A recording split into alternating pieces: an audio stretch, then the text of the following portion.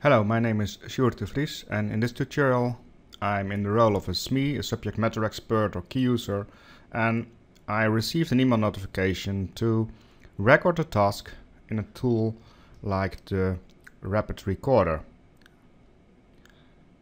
And then you select the second link, it's starting the task. You can always download the task, it's just a single file.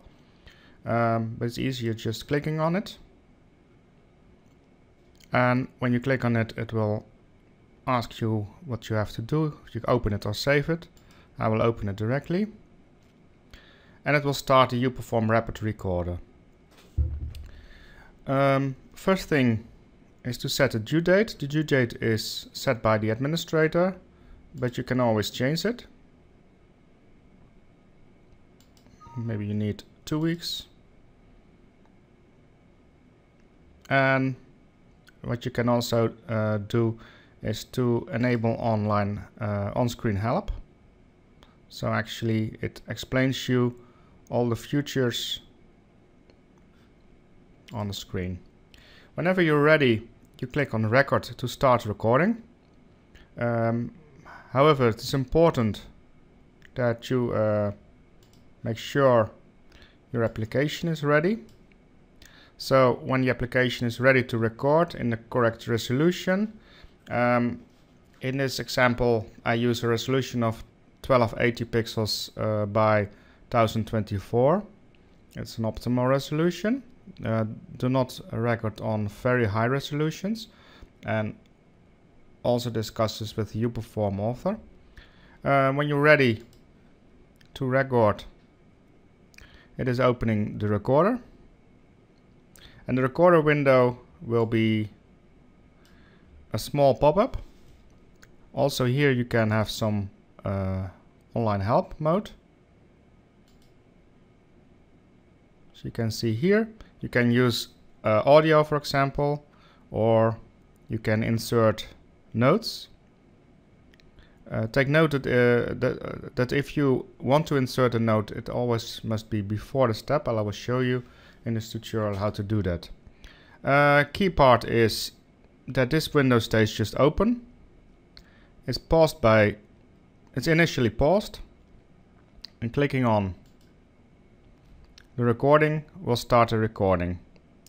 If you use audio then it will also record your voice and else it will only be triggered by a click action, right click action, typing in something or pressing a key so it will not be triggered by moving the mouse around.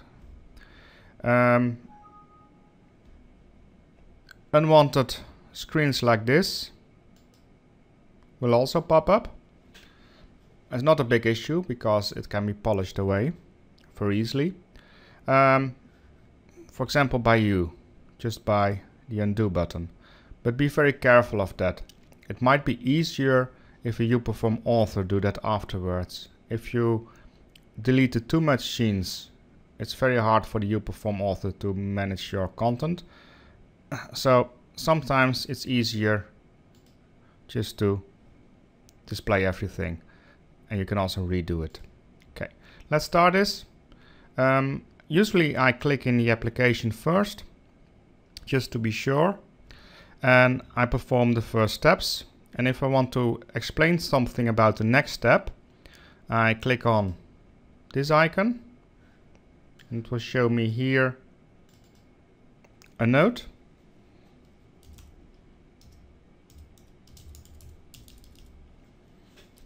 and then I click on the thing I want to explain, for example my channels. So the note will be attached to that click. Um, I just explain functionality uh, with the voice on or with the uh, tips. And when I'm done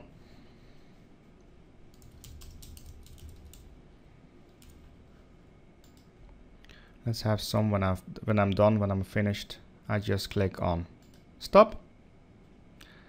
And it will ask me to check it in directly or at a later time. It's very important to understand that if you click on yes, uh, it will check it in directly and you cannot proceed with the task. So let's assume the task is not finished yet. I click just no. And I just close the screen and maybe another day. You come back to the Ancile uPerform recorder, then you have to start it from your start menu. You open the tutorial and you click on record. It will automatically recognize you where uh, you were, so you can restart it to do it again. So start from scratch or resume it. So I do not have to forget to record it. And now it's done correctly. I can tell something with a note. And if I just want to explain something and I don't want to click, I just click in the application.